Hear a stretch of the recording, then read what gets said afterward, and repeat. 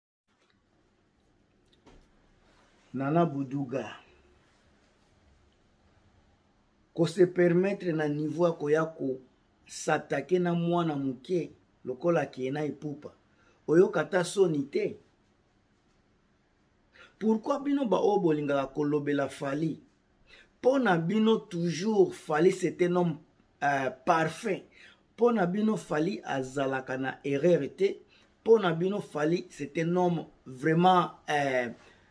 irréprochable bozobosana ke immaturité ya fali ipupa moto ezotika bato bapesa ye bamatière nana c'est comme si ozua kutu temps ata moke te ya kolanda bamessage ya kei na epupa la fille ela ata place moko te atikala kofinga fali toi mama soki nana boduga olia kosokipe na makambo eza koleka nao na foye na yo mama oyo azanga valeur mama eh, nana boduga ozanga valeur mama yo moto oza koya kopesa bato leson oleka na fali na age avant fali akoma fali abetabeta yo basele yo banani oyo soki banati lokole bapapi mboma sika yo telema ba ozua bamal chance wana nyonso na nzoto mwana mpe mwana kutu ya pamba je ne passe pas koza na mwana me ozoya kosancharge na mutu oyo aleki yo me kena epupa aleki yo na bote aleki yo na tai aleki yo na mayele baoyo boza na mposa ya kosepelisa kaka ya kosepelisa nana ketchup baverité oyo boza kolinga koyoka te yango ndenge naza kopesaka bino bolinga bolinga te selo ndenge bozomona makambo eza kotambola lelo fali alela nikimenga fort soki mobali aza na incapacité ya komove on ya koevolue ko, ya ko akomi na makambo kaka ya kofinga ba musique nyonso ya fali musique na chaque album aza au moins na 4 5 chanson oyo akoyambwakela aver nikimenga soki boza na capacité ya kocomprendre degré ya amour te c'est parce que botikala kolinga te motu lokola fali c'est un homme immature immaturité na ye ezomonana emonani na miso ya bato un homme qui n'a pas d'amour olie bopesa ye conseil soit bofanda kimia parce que boyebi ke fali abeti faux me telema ke bolingaka komitya na makambo nyonso bozoya koloba n'importe quoi bolakisa ngai no video esika keina epupa aza kofinga papa na ye bolakisa video esika keina aza komanke respect na papa na ye telemake bokoli na dictature ya baparent mpo na bino soki papa asali erreur boza na droit kokorige ye te bozokanisa ke Bato oyo babotami na democratie, na liberalisme, bako se comporter comme bato oyo bazo vivre sous dictature. C'est tellement boza ko se tromper. Bana oyo bakoli na poto bayebi kokosa te. Soki balobi A, ah, seke likambo eza A. Ah. Soki balobi B, na 90% kozala B. esika ke papa aza koloba mwana aya kofinga aya kodementire makambo ya mama na réseau sociaux eske mama oyo niki nikimenga na fali mokolo bolingana ke nazalaki bata oyo bato baza koya kofinga keina otikala jamais koloba bato wana baya kosenga pardon bato oyo bakozala jamais na vie na yo ozo oza na incapacité ya kogere bato wana me mutu oyo mwana na yo afingi yo te aza kosala makambo na ye aza kotika makambo na bino bapara alekare na makambo na ye me ye nde boza kosatake na ye mutu lokola nana soki boduga oyo mwasi oyo bazuela badoublire ebele tala mobali libumu edi batiala botala ye kaka libumu ondire malade aza na capacité ya kotala kutu sosiso na ye aza na capacité ya kotala ne makambo na ye mpo na libumu me ye nde moto aza koya kopesa bato baleso mora surtout na réseau sociaux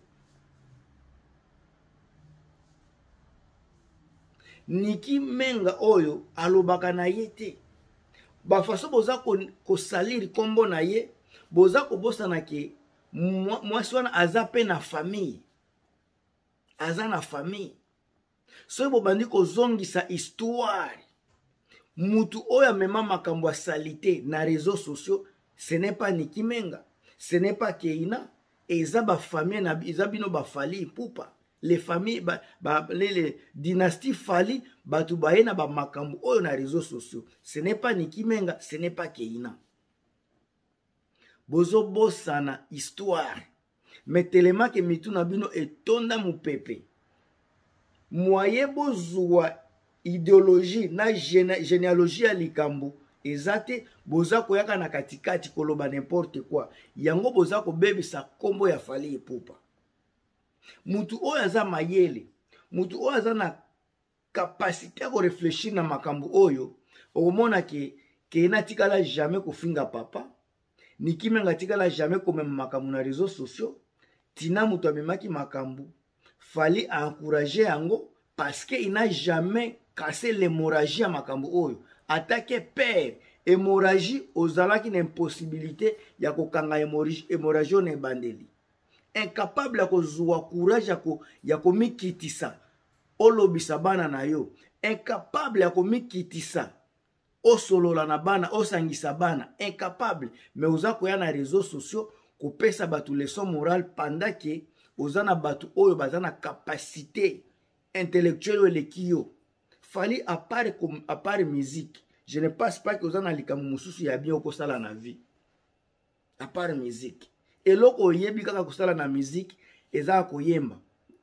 à part musique fali na monde eloko ya malonga mpenza okosala eza te parce que olakisi biso petit esprit faiblesse esprit na yo devant ta propre fille devant ta propre famille olakisi biso ke oza vraiment petit esprit sika motu lokola nana buduga mwasi oyo aza kovivre nsima ya bavie ya ba, ya ba, ya ba awa tomonaki kala mingi te awa babenganaki ye na ndako babwakaki biloko libanda mpo aza na incapacité ya kofuta ndako incapacité ya kofuta ndako esalaki babengana ye libanda me ye moto aza kotya monoko ondire ayebi makambo pendant ke olie aluka ata moyen ya kozwa solution ya kofutaka bandako aza koya kofingafingaka toyebi ke aza kolukisa ne mpe mbongo na niveau ya youtube parce que vie ezosimba te edi atambolaka bitambola tambola azwaka aza na ye kaka na valeur ya kozwaka baavio ya pamba kokendeke kozonga me na ndenge ya baideologie akosaka mbongo te yango boza komona nana buduga aza komiboma mate midi soir mpo balia apart youtube akolia wapi apart youtube akozwa mbongo wapi yango boza komona bato yango bayaka na loyenge bakosala moya nyonso baetouffe réalité bakosala moya nyonso baetouffe badesoriente mentalité ya bato na réalité réalité oyo toza na yango lelo eza ete fali pupa aza kotraumatize bana na ye fali aza kotraumatize famille na ye mobimba fali amanke respect na basi nyonso famille fali amanke respect na bana nyonso ya basi malheureusement ke basi na biso ya communauté ndenge nalobaka ndambo na bango baza mayele ndambo me ebele mitu esalaka te ebele mitu etona mipepe si toutes les femmes prenez le temps ya kokondane fali fali angaki azonga na, na, na, na bareseau sociaux koseskize mais tellement que c'est la majorité qui est insensé c'est la majorité qui n'est pas intelligente boza komona ezoleka ondire fali aza na raison sika mutu bato batanga mpenda batanga baza mayele soit disant mayele bato lokola banana soit disant atanga mere aza komemela biso réflexion enfantine ya boye cela relève que ekole batangela eza na baédition ya kala nana on dirait édition baédition ya balivre oyo batangela eza baédition ya ba 1970 na édition ya 2020 boye aza na yango te yango boza komona aza kotape à côté à chaque fois aza komema baanalyse na ye baanalyse moko boye ya kolukisa bavie baanalyse moko boye ya kolukisa mbongo banalyse moko boye ya kolukisa ba eh, banini eh, ba, ba, ba, ba, ba, banalyse oyo eza kocreye kolukisa banini babase ba oyo ezangi fondement me motu lokola niki akipaka soki niki lelo alingaka kokota na réseau sociaux nde aza na baebone ntango mosusu koleka fali soki niki azwaka ata kosalaka emission ye moko nde bato batalaka ye lokola banatali koa mais maîtrise oyo aza nango aza kose maîtrise parce que ayebi ke aza na famille ya koprotege aza na bana oyo baza na mposa ya protection na ye asa kose maîtrise mais mama lokola nana buduga maîtrise eza te